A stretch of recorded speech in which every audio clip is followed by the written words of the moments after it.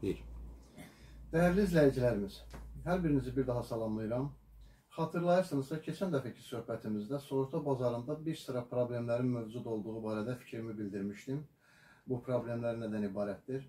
E, Sığorta şirkətlərinin müştərilərə qarşı iddiaları, müştərilərin sığorta şirkətlərindən narazılığı, sığorta agentləri və sığorta şirkətləri arasında mövcud problemlər. Bunlar barədə hər birinin barədə ayrı-ayrılıqda söhbətlərimiz olacaq. Mən isə bu gün sizə məhz sığorta bazarında mövcud olan və həlli mümkün görünməyən bir problem barədə fikirlərimi bildirmək istəyirəm. Bu problem qanunsuz endirimlər məsələsidir. Qanunsuz endirimlər nə deməkdir? Qanunsuz endirim e, qanuni olaraq hər hansı bir avtomobil üçün hesablanmış sığorta məbləğinin müştəri tərəfindən kəsrlə ödənməsidir. Bu, bu hal necə baş verir? E, Deyək ki, hər hansı bir avtomobil üçün e, konkret olaraq 100 manat sığorta haqqı hesablanırsa, müştəri bunun müəyyən e, faizini ödəmir. Daha doğrusu 100 manat sığorta haqqından bəzən 90 manat, 85 manat, e, müəyyən hallarda isə hətta 80 manata qədər ödəməklə bir növ e, sığorta haqqından sürücü özü üçün gəlir əldə edir. Bu halın baş verməsi necə mümkündür? E, Bilirik ki, hər bir sığorta şirkətinin onlayn sistemləri var və istənilən bir vətəndaş qanunla həmin onlayn sistemlər vasitəsilə öz icbari sığortasını yazıb, ödəniş edib, sığorta müqaviləsini əldə edə bilər. Bu halda hər hansı bir qanunsuz endirim barədə söhbət mümkünsüzdür. Yəni sistem hansı qiyməti verəcəksə, müştəri də o məbləği ödəyib ə, sığorta müqaviləsini almalıdır. Qanunsuz endirimlər isə məhz ə, müştərilərin sığorta agentləri vasitəsilə sığorta müqaviləsini əldə etdiyi anda baş verir.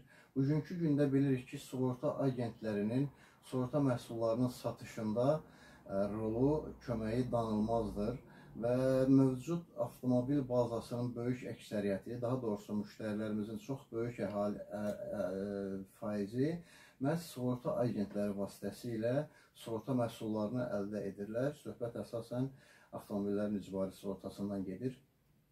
Müştəri müraciət etdikdən sonra sığorta agentlərində belə bir ə, qanundan kənarlaşma halı meydana gəlir ki, ə, müştəriləri daha çox cəlb etmək üçün ə, kənar müştəriləri daha ucuz sığorta müqaviləsi təklif etmək yolu ilə özlərinə cəlb etsinlər, öz müştəri portfellərini zənginləşdirsinlər. Bu hal müştərilər üçün əlbəttə əlverişlidir, sərfəlidir. Yəni hər bir vətəndaş istəyər ki, alacağı sığorta müqaviləsinə görə daha az məbləğ ödəsin və sığorta müqaviləsini əldə etsin. Bu cür endirim nəticəsində sürücü əldə etdiyi müqaviləyə görə hər hansı bir e, məhdudiyyətlə qarşılaşmır. Sığorta müqaviləsi alınıbsa, sığorta şirkəti orada verilmiş təminatı tam olaraq yerinə yetirməlidir. Bu halda uduzan belə fikirləşmək olar ki, sığorta şirkətləridir. Xeyr, belə də deyil. Çünki fiks hesablanmış sığorta haqqından hər hansı bir kəsirlə ödəniş varsa müştəri tərəfindən, onun əlavəsi olunaraq sığorta agenti tərəfindən sığorta şirkətinin hesabına ödənilir. Bu proses necə baş verir?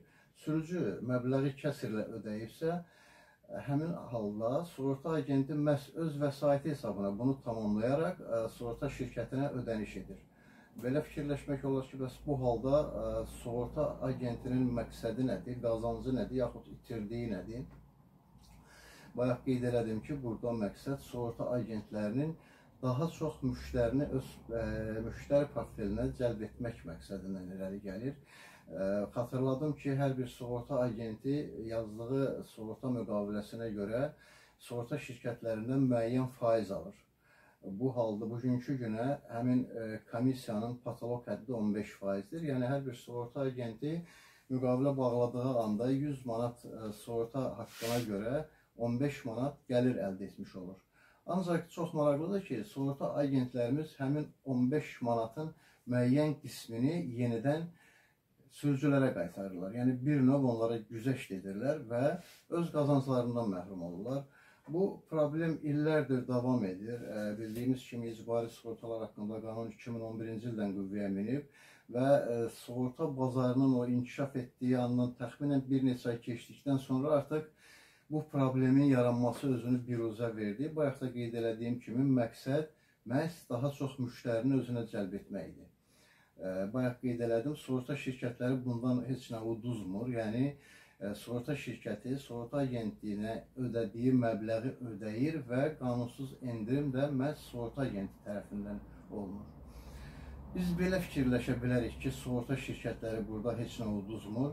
E, tariximizi bir 3-4 il, 5 il geriyə qaytarsaq, məhz sığorta məhsullarının satışının pik dövründə 2012-ci, 2016-cı, 17-ci illərdə bu proses böyük təşəkkür tapmışdı və həmin anlarda, həmin vaxtlarda məhz bu endirimlərin daha çox olması səbəbindən sığorta şirkətləri e, sığorta e, agentlərinə ödədikləri komissiyanın məbləğini 25, 30, 35, bəzi hallarda isə 40%-ə qədər qaldırmışdılar. Yəni bir növ ə, e, sığorta agentlərini həvəsləndirdilər bu prosesin həyata keçməsinə. Nəticədə sığorta şirkətləri yığdıqları sığorta haqlarının 40%-ni artıq məcburi qaydadamı, yaxud könüllü qaydadamı sığorta agentlərinə qaytarırdılar. Belə fikirləşmək olar ki, həmin dövrdə sığorta agentləri böyük qazanc əldə edirdilər. Xeyr, belə deyil.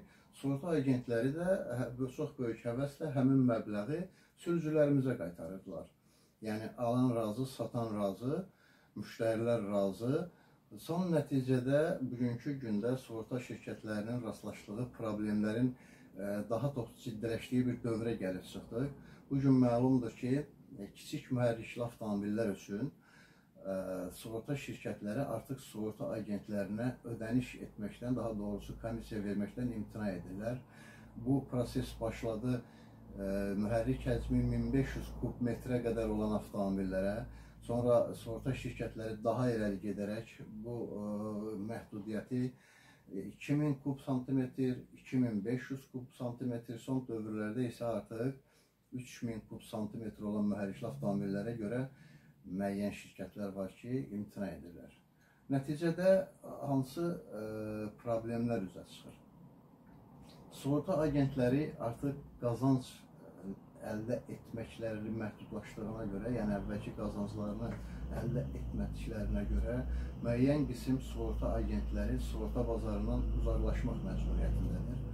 Artıq bu gün ə, e, yerdə qalan agentlər fokuslanıblar iri mühərrikli avtomobillərə və yük avtomobillərinə ki, bu da bazarda bunların sayı kifayət qədər azdır. Və bütün bunlara baxmayaraq, sığorta agentlərinin qazanclarının təxminən 60-70% azalmasına baxmayaraq, yenə də sıramızda, aramızda belə agentlər var ki, böyük məmnuniyyətlə yenidən ə, e, müştərilərinə bu endirimləri verməkdə davam edirlər. Bəzən ə, e, faktlar var ki, bizdə 20%-ə qədər endirim təklif olunur və burada bir e, sual, maraqlı bir sual ortaya çıxır ki, sığorta şirkətlərinin maksimum ödədikləri komissiya haqqı 15% olduğu halda sığorta agenti necə ola bilər ki, 20% endirimə getsin? Şübhələr yaranır ki, hansısa şirkətlərdə yenidən ə, e, təyin olunmuş komissiya haqqından əlavə komissiyaların verilməsi faktları var. Məndə dəqiq olan fakt yoxdur ki, bunu hansı sığorta şirkəti edir. Araşdırma edəcəm, bu barədə məlumat maraqlı olacaqsınız. Ancaq istənilən halda bu problem bugünkü gündə də mövcuddur. Sığorta agentlərində sığorta agentləri ilə olan aramızda söhbətlərdə müəyyən qrup halında belə bir ideya ideya ideya irəli sürdük ki, danışıqlar aparılsın və sığorta agentlərini bu kimi qanunsuzluqlardan kənarlaşdıraq. Ancaq görünən odur ki, heç cür alınmır. Bu qanunsuzluğun qarşılığını qanunla almaq mümkündürmü? Mənə elə gəlir ki, bu da mümkün deyil. Çünki sığorta agenti öz qazancından ə, müştəriyə müəyyən məbləği qaytarır. Yəni o məbləğ onun cibində də qalar və o könüllü surətdə bunu ə, müştəriyə qaytarırsa, bu halda da bilmirəm, hansısa bir hansısa bir qanun pozuntusu varmı, yoxmu? Amma istənilən halda bu kimi hallar sığorta bazarına böyük ziyan vurur. Müştərilərimiz e, bir növ ələ baxımlıdırlar. Müştəri artıq bu gün e, ideal sığorta şirkəti axtarmır. Onun e, ödədiyi məbləğ qarşısında ona göstəriləcək yüksək səviyyəli xidməti axtarmır və məhz ona daha çox endirim verə biləcək sığorta agenti axtarışındadır.